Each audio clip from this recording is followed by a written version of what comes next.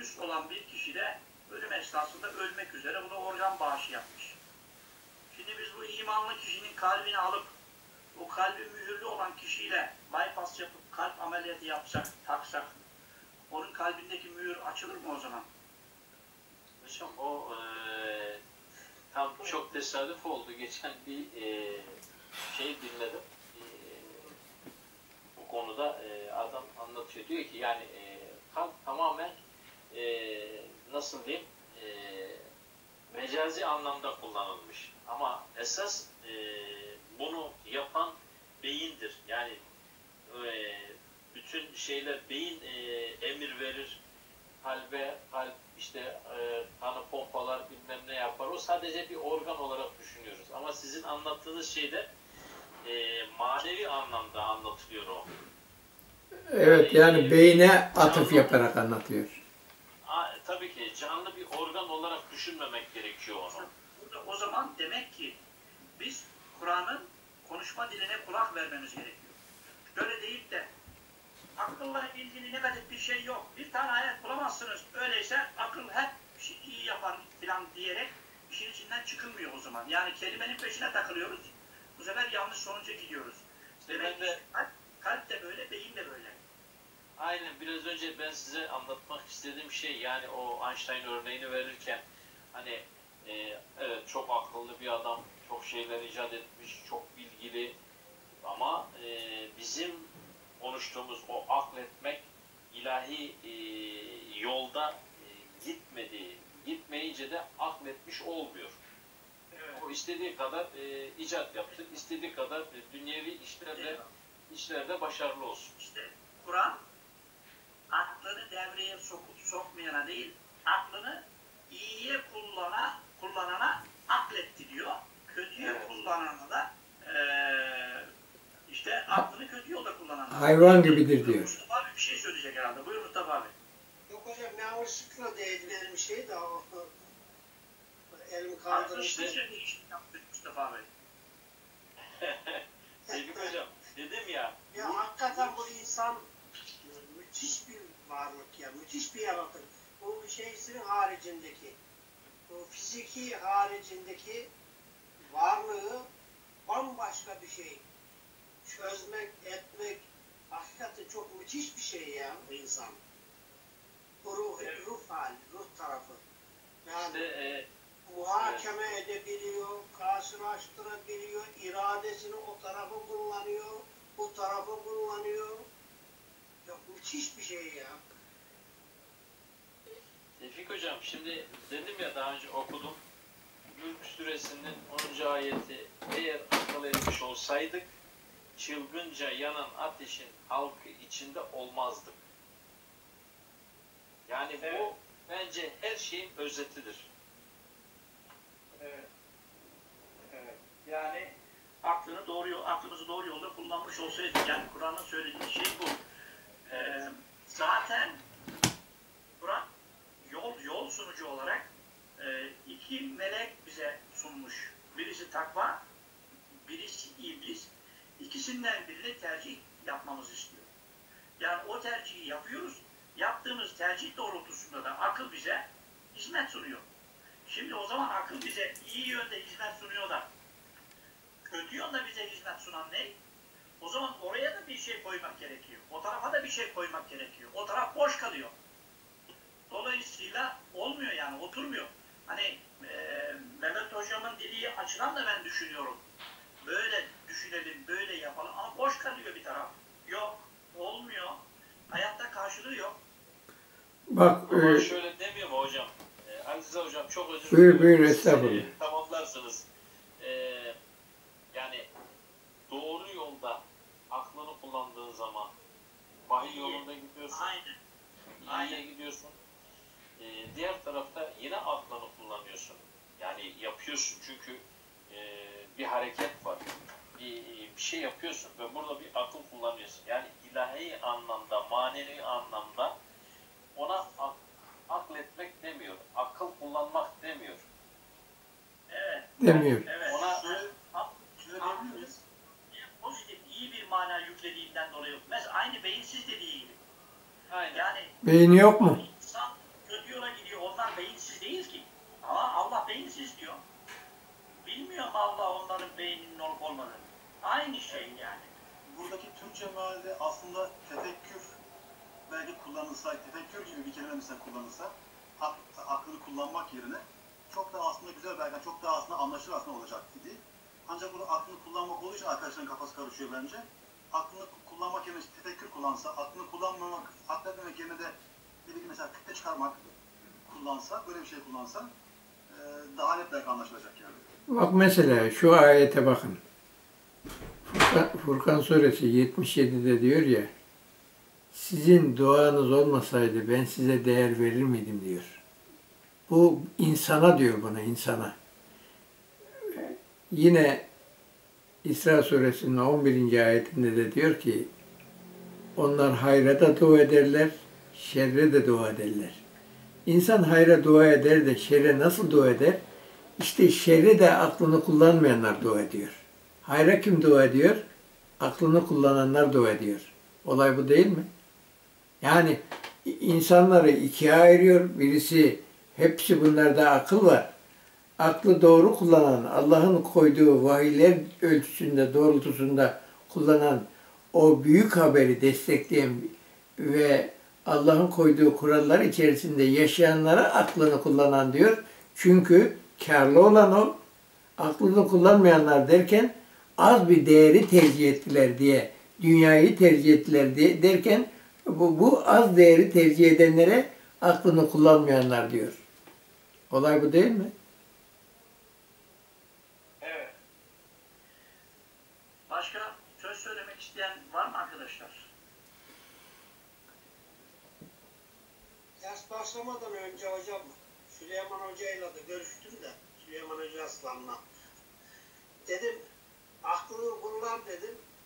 Gel veya gelme dedim derse.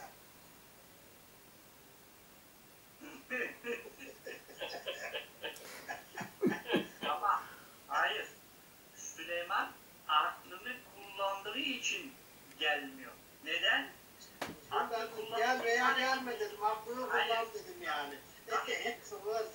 Süleyman hocama göre, Mehmet hocama göre biz aklı kullanmıyoruz.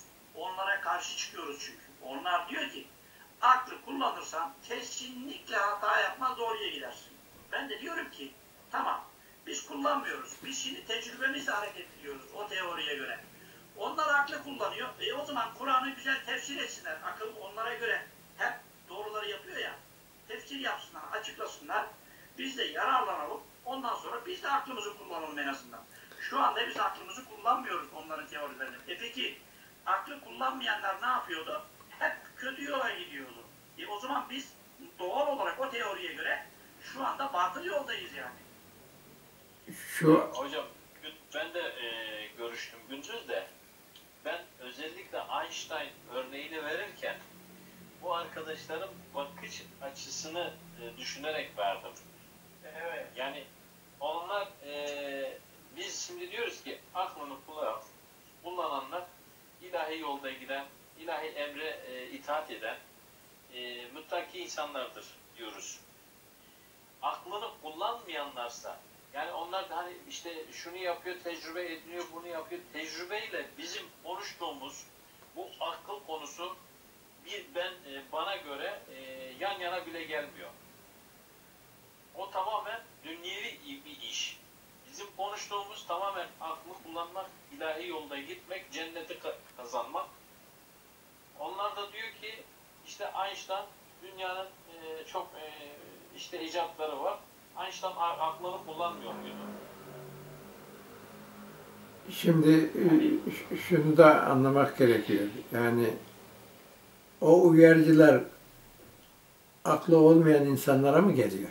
Uyarıcılar insanlara yaratılışta verdiği Rabbim Allah'tır sözünü onlara hatırlatmak, acı bir azabı onlara e, bilgi olarak verip kendilerine çeki düzen vermesi için geliyor. İşte e, ahiret aleminde hep peygamberler uyarı ve müjdeleyici olarak geldi diyor. Kimi müjdeliyor? Aklı Allah'ın istediği yönde kullananlar, kimi e, korkutuyor. Allah'ın istediği yönde aklı kullanmayanlar. Yani akıl e, ortada bir malzeme. Kim bunu e, Allah'ın istediği yönde kullanırsa e, buna aklını kullananlar diyor. Öbürüne de aklını kullanmayanlar diyor. Veya e, akletmeyen di- diyor. Veya e, temiz düşünmeyen insanlar olarak tanınıyor. Hani e, Firavun'a ey Musa git temizlenmek ister misin ifadesini kullanıyor. Neyle temizlenecek? Bilgiyle. Yine Karun e, ne demişti? Ben bilgim sayesinde e, bu e, kazandım diyor. Bilgisi neyle oluyor? Akıllı oluyor. Bunların hepsi Kur'an'da örnekler veriyor. Evet. Hatice Hanım bir şey söyleyecek herhalde. Buyur Hatice Hanım. Şimdi tecrübeyi ben akılla nasıl yan yana konuluyor ben onu anlayamıyorum. Hangi akla yani hani gene Sedat olacak ama tecrübe nedir? Hani Türkçe'de bir deyim vardır. Senin yaşın kadar benim tecrübem var demek. Yani tecrübe yaşadıkça elde edilen bir e, bilgi. Yaşadığın kadar tecrübe ediyorsun. Şimdi 7 yaşındaki bir çocuk ilkokula başladığında matematiği neyle yapıyor? Tecrübeyle mi yapıyor?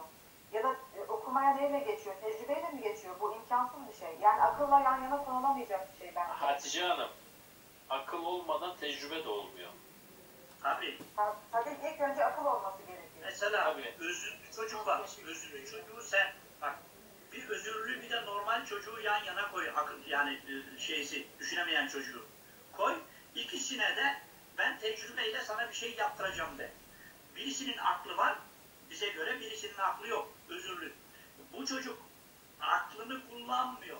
O zaman tecrübeyle bir şey yapabilir mi özürlü? Yapamaz. Mümkün değil. Yok, İmkan akıl olması gerekiyor. kesinlikle. Evet. Şimdi bazı çocuklar var. Ee, bazılarına otizm deniyor. İşte bazılarına zekasında problem var deniliyor. Şimdi bu çocukları e, özel eğitim merkezleri alıyor. Bunlara bazı şeyler öğretiyor. Eğitimlerle bazı şeyler kazandırıyorlar. Yani bilmiyorum benim fikrimce bunu e, tabiri caizse aklını kullanmayı işte öğretiyorlar, jimnastik yaptırıyorlar. E, ona bazı alışkanlıklar mı kazandırıyorlar diyeyim. Yani bunun tecrübeyle, birikimle, hafızayla illaki ilgisi olabilir ama insanlar bunları tecrübeden ya da hafızadan ya da işte bilmem neden yapıyor demek yani çok aklı bu kadar ayrıştırmak bana çok doğru gelmiyor. Aklı arkaya koymak ya da başka bir yere koymak bana çok doğru gelmiyor. Çocuklar bunu aklıyla yapıyorlar. Onlar da akıllı, onlar akılsız değil ki. Yok şunu yakalamak gerekiyor.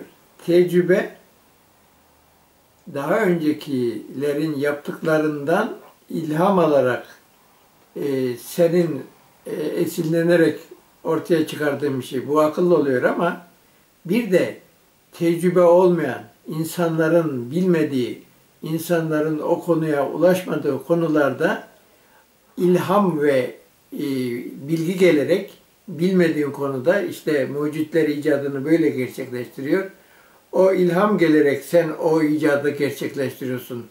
Bunu tecrübeye dayayabilir mi? Bu akıllı oluyor.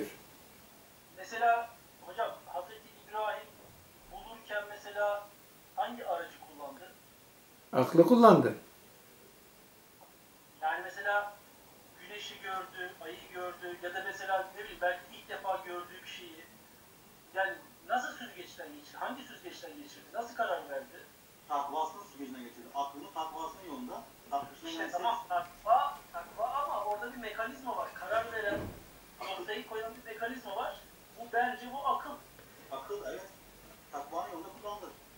Yani söylediğimiz e, şöyle e, yani bütün melekler insanların emrinde işte karar verdiği yönde melekler insana secde, secde ediyor. Olay bu. Aynen öyle. Şimdi eee, güneş birçok faydası var ama gider 50 derece altında 20 saat kalırsan güneş seni çarpar hasta eder. Bu kadar basit. E bunu aklını kullanarak ayırt edebiliyorsun. Yani bunu yani birileri bir şeyler söylüyor diye söylemiyorum ama yani benim fikrimce bu kadar zorlanılacak ya da bu kadar takılınması gereken bir mevzu değil bu bence. Yani bir, ya da bunu şöyle de bakmak lazım galiba hocam. Bunun bilimsel tarafını çok ayrı, sadece bilimsel tarafına aslında bakıp araştırmak lazım. Yani işte tıp ne diyor buna, yani bilim ne diyor buna, akıl nedir? O zaman bunu tam anlamıyla bilime sormak lazım. Yani akıl nedir? Hangi araçtır, nedir bu? Şimdi e, Alex Carrel diye bir sürekli dinledim onun bir iki bölümünü. Akıl insanın kendi içinde var olan malzemelerle işini gerçekleştirir diyor. Burada insanın temel onları ayırt edecek bir gücü yok Alex Carrel'in ama insana iki teklif sunucu iblis ve takva meleğinin olduğunu o bilmiyor. Ama bu iki teklif sunucu iblis meleğinin in- insana verdiği, insanın kendisine veriyor. Nefis diyor buna. İşte buna verdiği teklif sonucunda akıl burada devreye girip karar veriyor. Yani ister doğru yolda, ister yanlış yolda karar veriyor. Yani karar verme mekanizması akıl oluyor. İşte Kur'an e, bu insan üçlü bir şeydir. Bak e, mesela bir iktidar var, bir de muhalefet var insanda. Birisi iblis, birisi takva. İktidar takva ise e, onu e, iblis yönlendiriyor. İblisin kontrolüne giriyor. Kontrolüne giriyor demeyelim de yani onu sessiz hale bırakıyor. Eğer takva iktidara geçerse iblis sessiz hale geliyor. Yani Şems suresi 7, 8, 9, 10. ayetlerde bunu anlatıyordu. İşte kim kendini o e, takvaya e, karşı duyarlı hale gelir, e, iblise karşı kendini korursa işte muttaki olan, kurtuluşta olan odur diyordu. Yani burada akılla yapıyor insan bu işleri. Yoksa akıl olmasa bunları deliye böyle bir sorumluluk var mı? Hayvanlara böyle bir sorumluluk var mı? İşte dü- Hesap zamanı geldiğinde, özür dilerim hocam. Hesap zamanı geldiğinde dünya üzerinde yaptıklarının hesabı sorulurken peki e, ya benim o kadar tecrübem olmadı, benim yetmedi mi diyeceğiz? Yoksa e, bize verilmiş olan akıl nimetini kullanmadık mı diyeceğiz? Tecrübem yetmedi dediğimizde Allah bizi dinleyecek mi? Kale alacak mı? Yani biz ebedi ahiretten, hayattan bahsettik. Sen dünyayı tabulaştırdın, dünyayı kendine mesken olarak kabul ettin. Oysa bir de ahiret alemi vardı. Sen bunu görmezden geldin, duymazdan geldin. Aklını doğru kullanıp ahiret alemiyle ilgili bilgileri kendine e, rehber edinip, araştırıp, inceleyip o yönde ka- karar vermedin mesajı veriyor. Peki arkadaşlar. Başka eklemek istediğiniz, söylemek istediğiniz şeyler varsa buyurun. Bayağı bir saati geçkindir konuşuyoruz. Sanırım bizim açımızdan net. Ee, zaten konular geçtikçe de önümüzdeki derslerde bunları tekrar konuşuruz inşallah. Ee, yarın hangi şeyde kaldık biz? Ee, Kamer suresine geldik Evet, hocam. yarın inşallah Kamer suresinden devam edeceğiz. Biz de Ali Rıza hocamla o diğer konuyu belki yarın bir daha tekrar netleştiririz. Ondan sonra da içerisinde de o dersimizi, yeni videomuzu da yaparız inşallah. Tekrar ben e, şeyi atar mısın bana tekrar bu yazıyı, Ali Zaten yazısını mümkünse? Ben attım gruba ama sana da atarım. Hangi, hangi gruba attın? Bu işte Skype'a attım yani. E, Skype'da e, bunun gibi yazı. Yani burada iki tane konuş- konuşma dili var Skype'in içerisinde. İkisine de bakın. Çünkü Ali Rıza hocam bazen birini başlatıyor, bazen birini başlatıyor. İki tane grup oluyor o zaman. Ben birini siz WhatsApp atmak mümkün mü? WhatsApp üstünden atsam, WhatsApp'tan atsam bana. Ben sana tabii atayım onu WhatsApp üzerinden de atarım. Sadece o 8 sayfalık bir yazı. Tamamdır. abi. Tamam inşallah. Hadi hayırlı akşamlar. Allah'a emanet. Hayırlı akşamlar. Allah'a emanet olun. Hayırlı akşamlar. Hayırlı akşamlar. Selamünaleyküm. Aleykümselam hocam. Orada bir video sohbetini daha sonlandırırken Yeni bir videoda buluşmak dileğiyle Allah'ın selamı, rahmeti, bereketi üzerinize olsun diyorum.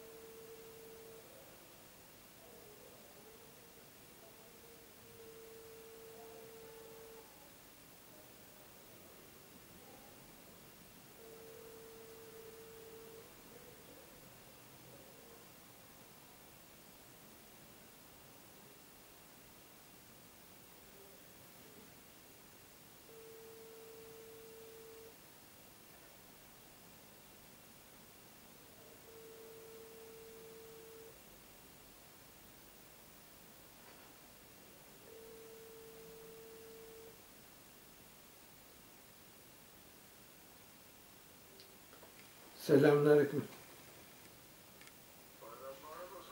Sa- Sa sağ ol sizin de mübarek olsun. Hamdolsun ya annene bakmaya gittiydik de o zaman aramışsın. Gelince gördüm. Dersten çıktık şu anda da. Bir arayayım dedim.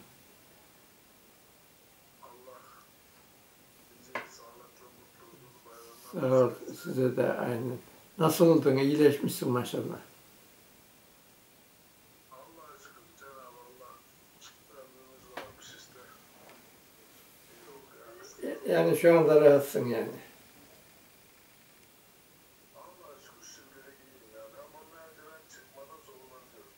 Geçer o da, o da geçer geçer. Bizim sohbet ettiğimiz arkadaşlar da çok koronaya yakalanan oldu da onları anlatıyor. Onlar e, geçiyor ağır ağır işte. İnşallah gitsin gitsin ya. Çok zorlanıyorum ya. Yani zorlanmayan yok. Onu, onu kimseye ta- tavsiye etmiyor yakalananlar. Yani ben te, ya tefsir yazıyorum. Çocuk olup da burada zaten hanım var. Başka olan yok. Çocuklar yerlerine, yurtta. Tabii ki haberleşiyoruz. İyiler hepsi iyiler. Problem yok. Sevindim Osman abi. Şey, İnşallah her şey yolunda gider. İnşallah yolunda gitmediği zaman da sabır. Başka yapacak bir şey yok.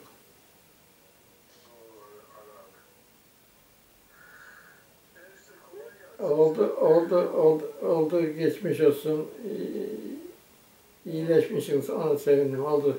Selamünaleyküm. Aleykümselam.